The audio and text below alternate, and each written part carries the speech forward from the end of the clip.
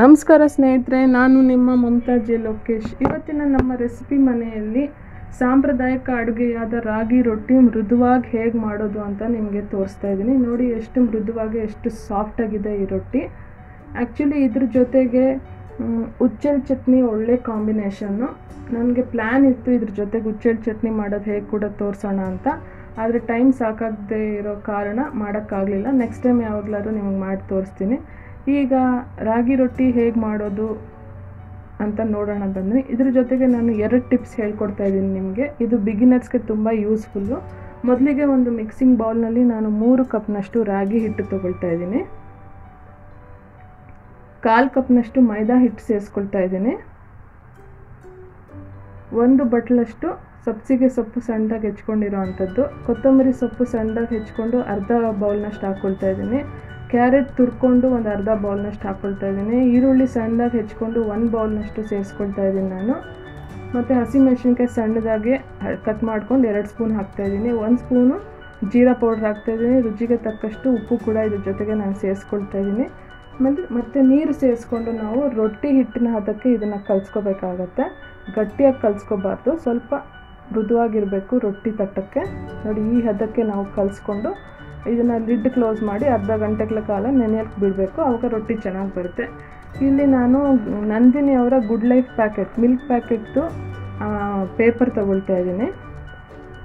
ಅದನ್ನು ಚೆನ್ನಾಗಿ ವಾಶ್ ಮಾಡ್ಕೊಂಡು ಕ್ಲೀನ್ ಮಾಡ್ಕೊಂಡು, ಈ ಥರ ರೌಂಡಾಗಿ ಕಟ್ ಮಾಡ್ಕೊಂಡು ಇಟ್ಕೊಂಡಿದ್ದೀನಿ. ಅದಕ್ಕೆ ಆಯಿಲ್ ಅಪ್ಲೈ ಮಾಡಿ ಇದ್ರ ಮೇಲೆ ನಾನು ರೊಟ್ಟಿ ತಟ್ಟೋದು. ಇದು ನಿಮಗೆ ಮೊದಲನೇ ಟಿಪ್ಪು ಇದ್ರ ಮೇಲೆ ರೊಟ್ಟಿ ತಟ್ಟಿ ಹೆಂಚಿನ ಮೇಲೆ ಹಾಕಿದ್ರೆ ರೊಟ್ಟಿ ಕಿತ್ತೋಗಲ್ಲ, ಹರಿದೋಗಲ್ಲ. ನೆನ್ಪಿಟ್ಕೊಳ್ಳಿ, ಇದು ಮೊದಲನೇ ಟಿಪ್ಪು ಈ ಥರ ಮಾಡಿದ್ರೆ ರೊಟ್ಟಿ ಕಿತ್ತೋಗಲ್ಲ, ಹರಿದೋಗಲ್ಲ. ಆರಾಮಾಗಿ ನೀಟಾಗಿ ರೌಂಡ್ ಶೇಪಲ್ಲೇ ನಿಮಗೆ ರೊಟ್ಟಿ ಬರುತ್ತೆ. ಈ ಥರ ಈ ಪೇಪರ್ ಮೇಲೆ ತೆಳುವಾಗಿ ಈ ಥರ ರೊಟ್ಟಿ ತಟ್ಕೋಬೇಕು, ಎಣ್ಣೆ ಹಚ್ಚಿಬಿಟ್ಟು ಕೈ ಕೂಡ ಸ್ವಲ್ಪ ಸ್ವಲ್ಪ ಎಣ್ಣೆ ಹಚ್ಕೊಂಡು ರೊಟ್ಟಿ ತಟ್ಕೊಂಡ್ರೆ ರೊಟ್ಟಿ ಕಿತ್ತೋಗಲ್ಲ, ತೆಳ್ಳಗೆ ಬರುತ್ತೆ. ನಿಮಗೆ ದಪ್ಪವಾಗಿ ರೊಟ್ಟಿ ಬೇಕು ಅಂದರೆ ಜಾಸ್ತಿ ಕ್ವಾಂಟಿಟಿ ತೊಗೊಂಡು ರೊಟ್ಟಿ ತಟ್ಕೊಂಡ್ರೆ ದಪ್ಪವಾಗಿ ಬರುತ್ತೆ. ಇಲ್ಲಿ ನಾನು ತೆಳ್ಳಗೆ ತಟ್ಕೊಳ್ತಾ ಇದ್ದೀನಿ ರೊಟ್ಟಿ. ನೋಡಿ ಈ ಥರ ಸರ್ಕಲ್ ಶೇಪ್ನಲ್ಲೇ ನೀಟಾಗಿ ರೌಂಡಾಗೆ ಬ ಕೂಡ ಬರುತ್ತೆ ರೊಟ್ಟಿ. ನಿಧಾನವಾಗಿ ಈ ಥರ ತಟ್ಕೋಬೇಕು. ಆಲ್ರೆಡಿ ನಾನು ಗ್ಯಾಸ್ ಆನ್ ಮಾಡಿ ಹೆಂಚು ಬಿಸಿ ಆಗಲಿಕ್ಕೆ ಇಟ್ಟಿದ್ದೀನಿ ನಾನು. ಸೊ ಈಗ ರೊಟ್ಟಿ ತಟ್ಟಿದ ತಕ್ಷಣ ನಾನು ಎಂಚ್ ಮೇಲೆ ಹಾಕ್ತೀನಿ.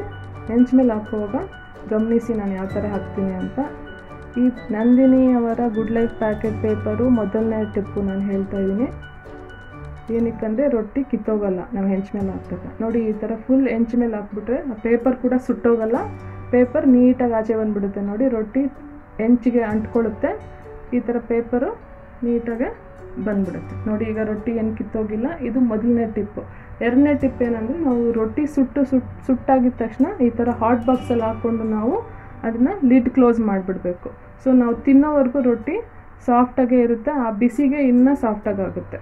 ನೋಡಿ ಈ ಥರ ನಾನು ಎರಡನೇ ರೊಟ್ಟಿ ತೋರಿಸ್ತಾ ಇದ್ದೀನಿ, ಹೇಗೆ ತಟ್ಕೊಂಡು ಹಾಕ್ತಾ ಇದ್ದೀನಿ ಅಂತ ನೋಡಿ. ಈಗಲೂ ಕೂಡ ಈ ಪೇಪರ್ ಏನು ಸುಟ್ಟೋಗಲ್ಲ, ನೀಟಾಗಿ ರೊಟ್ಟಿ ಹೆಂಚಲ್ಲಿರುತ್ತೆ ಪೇಪರ್ ಆಚೆ ಬಂದ್ಬಿಡುತ್ತೆ, ರೊಟ್ಟಿ ಅರ್ಧೋಗಲ್ಲ ಓಕೆ ಈ ಎರಡು ಟಿಪ್ಸ್ನ ಗಮನದ, ಗಮನದಲ್ಲಿ ಇಟ್ಕೊಂಡು, ಅಕ್ಕಿ ರೊಟ್ಟಿ ಆಗಲಿ, ರಾಗಿ ರೊಟ್ಟಿ ಆಗಲಿ ಈವನ್ ಒಬ್ಬಟ್ಟು ಕೂಡ ಈ ಥರನೇ ಮಾಡಿಕೊಂಡ್ರೆ ಏನೂ ಹರಿದೋಗಲ್ಲ ನೋಡಿ, ನಾನು ನಿಮಗೆ ಎರಡನೇ ರೊಟ್ಟಿ ಸುಡ್ತಾ ಇದ್ದೀನಿ. ಸೊ ನಾನು ರೊಟ್ಟಿ ಎಲ್ಲ ಈ ಥರ ಸುಟ್ಕೊಂಡು ಹಾಟ್ ಬಾಕ್ಸ್ನಲ್ಲಿ ಹಾಕ್ಕೊಂಡು ಲಿಡ್ ಕ್ಲೋಸ್ ಮಾಡಿಬಿಡ್ತೀನಿ. ಸೊ ಹಾಟ್ ಬಾಕ್ಸ್ ಹಾಟ್ ಬಾಕ್ಸ್ನಲ್ಲಿ ಕೂಡ ಸ್ವಲ್ಪ ಬಿಸಿ ಶಾಖ ಇರುತ್ತೆ ಬಿಸಿ ಬಿಸಿ ಹಾಕಿದಾಗ ಆ ಬಿಸಿ ಶಾಖಕ್ಕೆ ರೊಟ್ಟಿಗಳು ಇನ್ನೂ ಮೃದುವಾಗುತ್ತೆ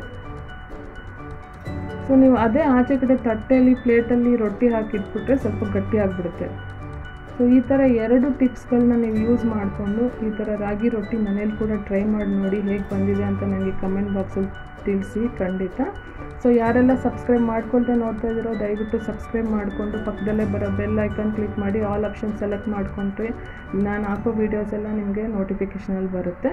ನೋಡಿ, ಎಷ್ಟು ಸಾಫ್ಟಾಗಿ ಬಂದಿದೆ ಅಂತ ಇಲ್ಲಿ ನಾನು ಕಾಯಿ ಚಟ್ನಿ ಮಾಡಿದ್ದೀನಿ. ಈ ಕಡೆ ಹುಚ್ಚೆಳ್ದು ಚಟ್ನಿ ಪುಡಿ ಇಟ್ಟಿದ್ದೀನಿ. ಇದು ಕೂಡ ಒಳ್ಳೆ ಕಾಂಬಿನೇಷನು ಸೊ ಮುಂದಿನ ಒಂದು ಒಳ್ಳೆ ವೀಡಿಯೋ ಒಂದಿಗೆ ನಿಮ್ಮನ್ನು ಭೇಟಿ ಆಗ್ತೇನೆ. Happy day